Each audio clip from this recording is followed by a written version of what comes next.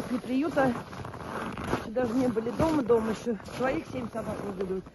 Ездим детей.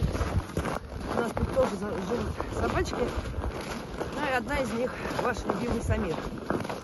Вот. Идем. Дорога у нас далекая, закрывают. Самира я могу показать, потому что я надеюсь, об этой собаке все знают, все предупреждены. А других собак, к сожалению, я показывать не могу. Знаю, что их травят, убивают, выкидывают. Самирчик.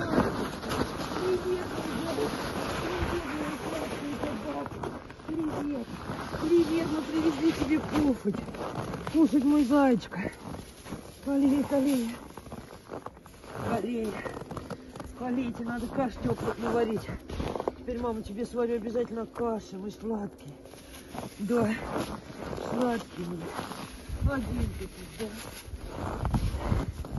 Приезжает к тебе твои товарищи интересные. Ну, расчищено, значит, приезжают. Ну, вот снова приехали на Шанхай посмотреть собаку-овчарку, которая была в вольере. Следы свежие, ну, скорее всего, забрали. Завтра еще посмотрим. Потому что тут уже почти все снесли. Мясо даже парит. То есть вот Даже на камеру видно, что Да. она парит. оно парит.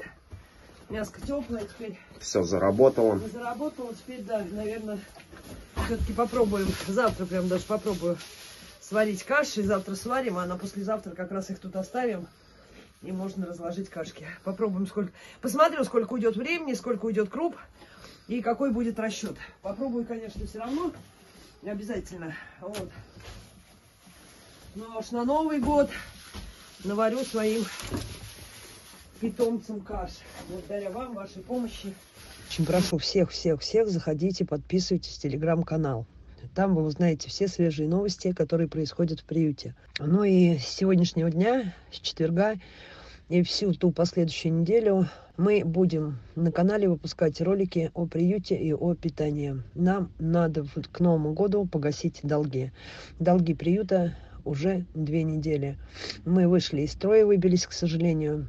Но опять хочу искреннее спасибо сказать всем тем, кто откликается на наш СОС. Еще раз хочу сказать, что спасибо, что вы с нами, что видите, цените, помогаете приюту жить. Поэтому полторы недели я буду и выпускать ролики, и кричать СОС.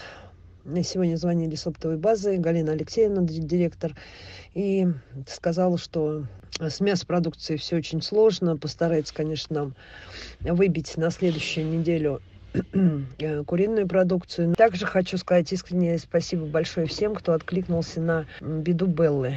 Белла у нас заболела венсаркомой, к сожалению, вот увидели, как увидели. Лекарства уже привезли, уже оплатили, купили. Завтра у нас будет первая химиотерапия. Приют у нас, знаете, пополнился. Ну и привет от Самира. Кто-то там хотел очень увидеть Самира. Также хочу сказать по поводу Шанхая. Встретил нас один мальчик только с кривой лапкой. Постараемся его приручить и забрать тоже в приют, потому что он там один.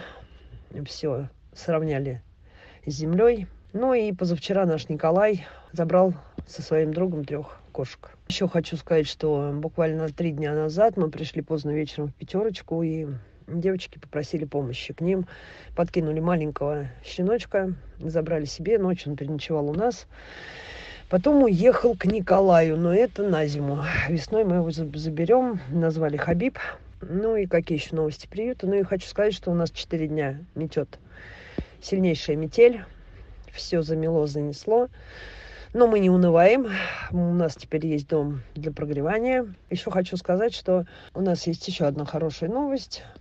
Это обзор приюта. Кто-то поймет, то есть теперь мы можем следить за приютом. А сегодня мы открываем, стартуем полторы недели, наверное, я назову вот так, стольника.